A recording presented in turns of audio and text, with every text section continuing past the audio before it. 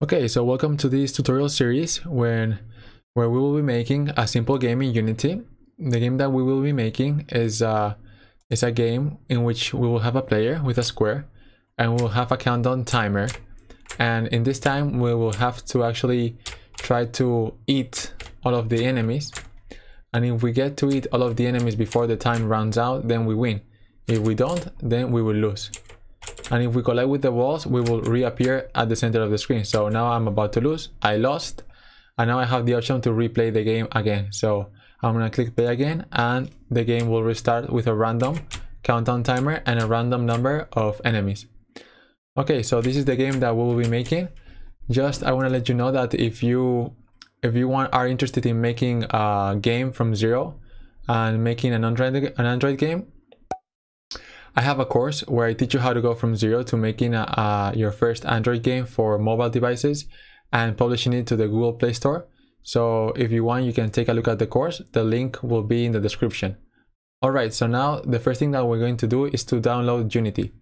So to download Unity, let's go to Google and then let's go and search for Unity download like this and click here in the first search result and here you will have the option to download Unity or download Unity Hub. Choose the option to download Unity Hub. And when Unity Hub is downloaded, you will have this icon on the desktop. So you can click it and open it. And you won't have anything here because if it's the first time you opened, uh, you installed Unity, then this should be empty. But what you're gonna do is go here to installs and over here you should have nothing. So what you're going to do here is you're gonna click add and you're gonna add in the the latest version of unity.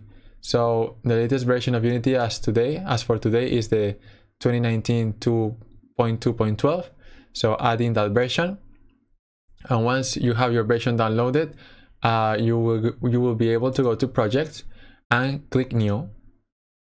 And here we will be able to select the mode of the game that we want to make. In this case we want to create a, a 2d game and we will call our game simple game because it's going to be a simple game. Simple game like this. And here you, you can choose the location uh, where you want to store or save your game. I chose my file. I have a file on my desktop. I chose that file. You can choose whatever file you prefer. And then you just hit create. And Unity will create um, a new template a default template for your project Okay, so this is how the Unity editor looks. What you have to do is that uh, if you don't see your editor like mine, is because mine is a little bit personalized, but I go here to layout on the top and hit default, and this is how you should have your default layout.